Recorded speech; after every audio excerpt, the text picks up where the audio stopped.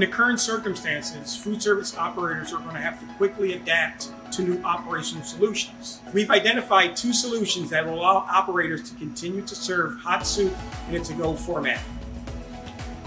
A solution that I have here for you today is to take your existing soup well station and incorporate a warming plate over top of that. What I have here for you is a Vollrath warming plate. They come in various sizes, 24, 36, and 48 inches in length.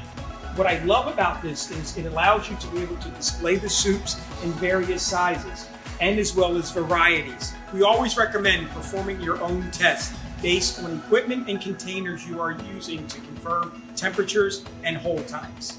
The second solution I would like to speak to you today about is this unit right here. It is a Hatco two-tiered warming cabinet that can be very easily placed on top of your existing soup wells. I love this unit because it's open-ended, which allows you to be able to easily replenish your soups from the back of the house if you're holding them in an enclosed warming cabinet. Another feature is that you can serve four different types of soups and three different types of sizes. Uh, some other key points is that with these containers, for customer confidence and safety, we put on here a tamper-proof seal uh, for confidence. Uh, some key points as well is labeling for clarity and some point of sale information about potential pairings for salads and sandwiches, and as well as the caution hot sign that's on top of the unit. Now that we've talked about how we can adapt soup wells, I want to talk to you about an easy way to replenish your soups on the fly. One solution would be to take a look at your current sales levels and be able to take your soups and serve them in a pre-portioned setting.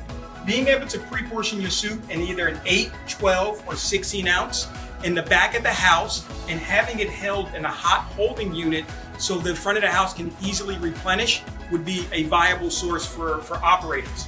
One other good thing that you can do is you can have a tamper-proof seal in there, and what that does is it adds another layer of comfort and safety for, for diners. Second solution I would like to take you through today is taking your self-serve soup station and putting it behind a counter.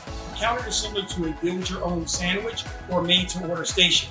And by able to do that, I would recommend take, having a hot plate and using the hot plate to display the soups on, and having that will allow you to be able to offer multiple varieties and various sizes. And for a speed of service component, I would recommend taking having the soups hot in a kettle where you can very easily replenish the soups to the table for speed of service. We have innovative solutions that can help you adapt your self-serve operations in these changing times.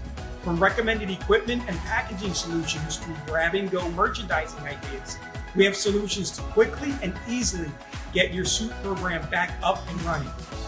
Explore more today to see how we can help increase revenue and delight your customers through soup.